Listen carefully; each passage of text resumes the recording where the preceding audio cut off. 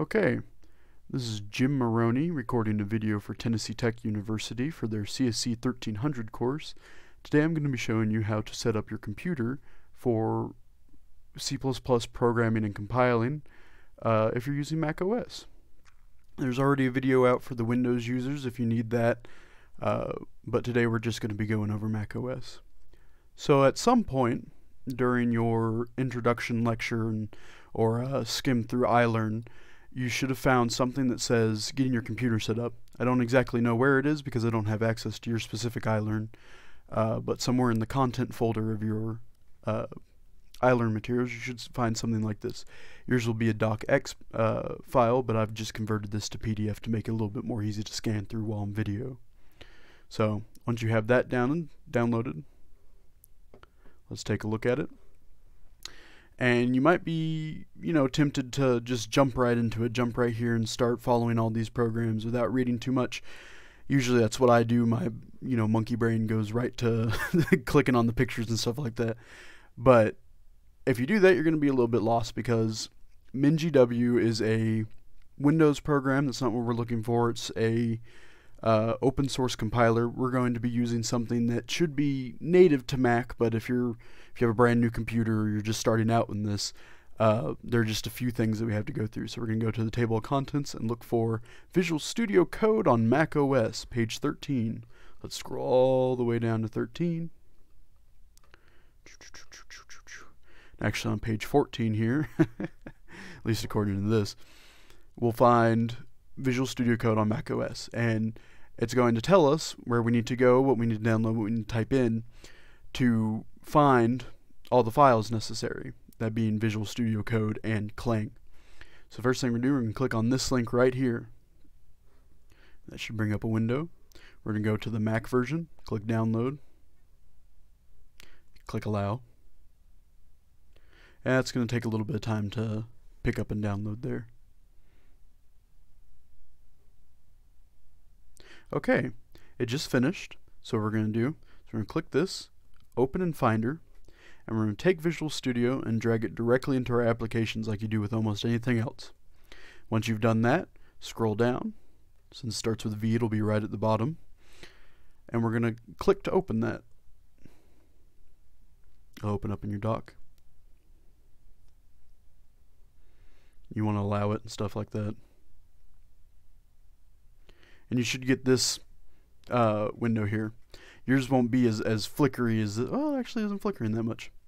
On previous attempts at recording this, this was a, a very flickery program. We might run into that.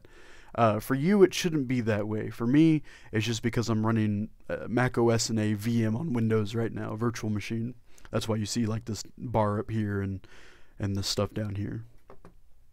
So once we've got it open, uh, the people at the computer science department, because Visual Studio Code is an industry standard and what you'll be using for most of your C++ stuff, uh, would like you to go down here, go to Options, right click on that obviously, right click on your program, go to Options, and then click Keep in Dock. Alright, and once you've got this open, we're going to go down to this little symbol right here, these four little squares labeled extensions. Going to click on that, and it should be in popular, but if you don't see it, just type in C slash and it should be the first one here. You're going to want to click on that and then click install. Now while that's setting up, we're going to do another thing. We're going to go ahead and hit uh, the things I just said are all this right here. Uh, we're going to go down here and it's going to ask you to verify if Clang is installed. Now Clang is your compiler. That is what will take the code that you write and convert it into something that the uh, computer can understand and execute. So in order to run this, you're going to want to open up your terminal. Now I have my terminal kept in my dock down here, but in case you don't, it's pretty easy. Uh, the easiest way to do it is go into Launchpad, go up here, type terminal, and it should be right there. And that'll open up an instance of terminal. Now you're going to type right here. This has a little uh, cash sign here, but don't worry about that. That's just this symbol right there we're going to type clang hyphen hyphen version. Now, when I executed that, when I hit enter on that command, it tells me, you know, it gives me a little error here. No developer tools were found. And usually it'll prompt you, if that's the case, it'll prompt you if you want to install Clang and developer tools. You just hit agree, sign all these things that no one ever reads. Now, if this doesn't come up, or you're having problems later on, uh, and this was never never popped up, you're going to go ahead and want to run this command here: xcode dash select space hyphen hyphen install. But in most cases, this little dialog box will pop up, and it will give you a prompt to install it. Okay, that says it's installed. So we should be able to go down here and type clang hyphen hyphen version or hit up on your arrow pad if you don't feel like typing that. And it'll tell us that we have everything that we need, hopefully.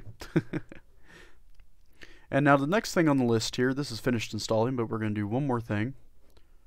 Minimize that. So the next thing on the list here, it's wanting to create a folder to keep all of your projects in for this class.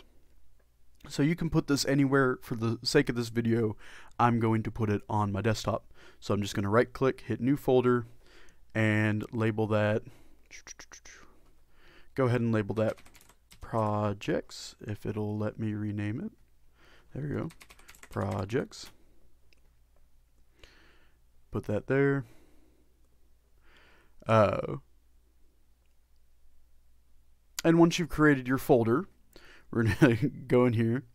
We're to create another folder. Now, this folder that you're in right now is just your overarching collection of programs that you've written.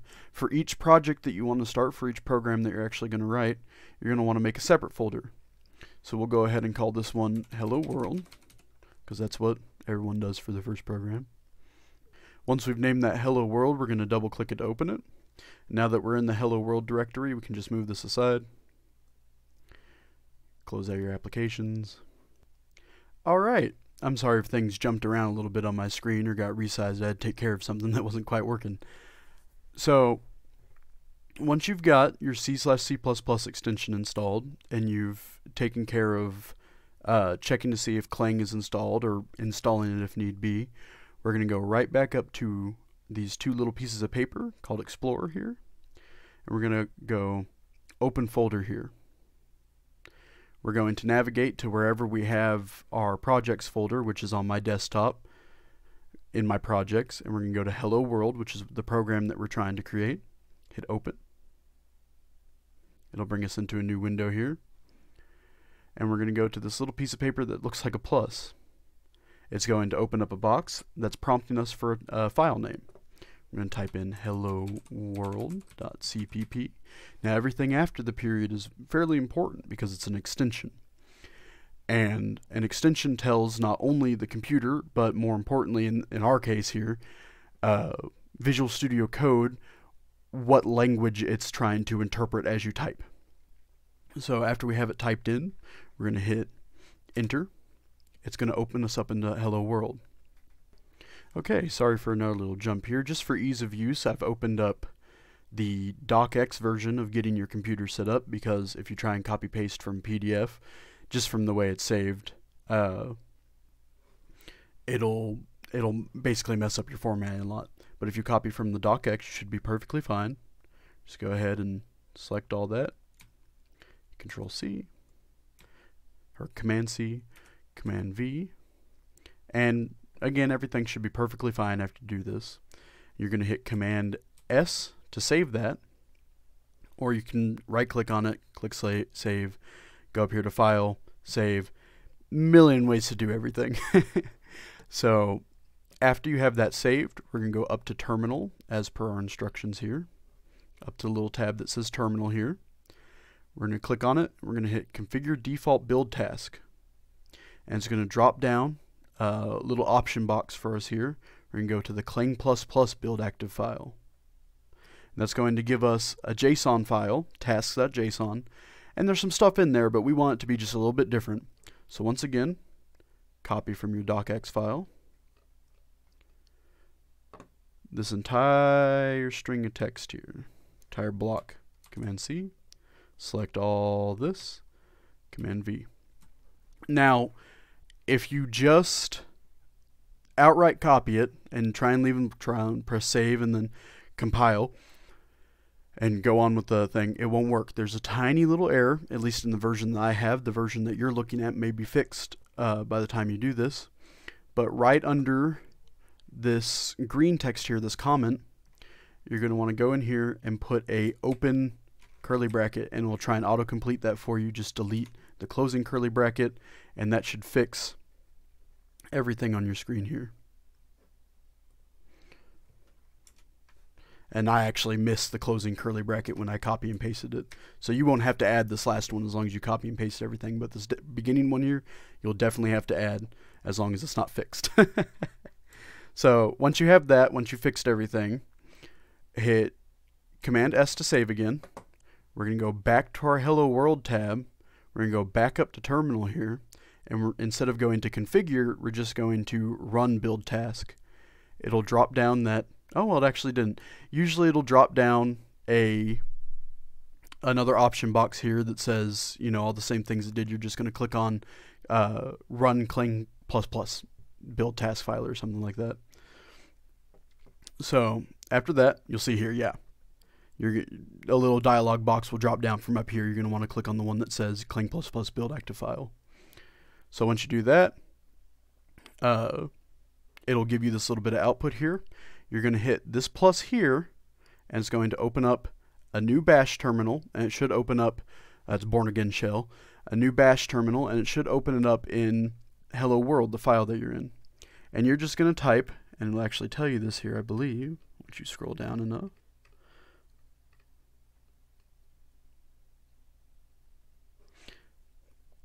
It's actually wanting you to go ahead and type out the terminal command for uh, like list your subdirectory.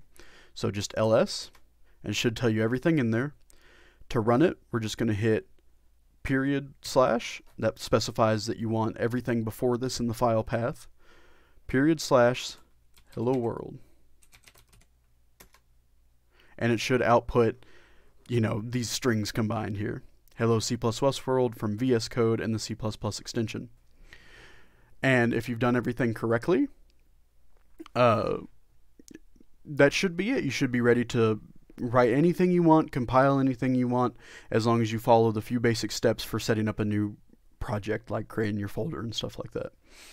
I hope this has been helpful to you. If you run into any road bumps along the way when you're replicating this, feel free to email uh, any of the TAs or join the Get Help Discord server. Feel free to jump on Slack and ask any of the TAs in your lab or in your class a question.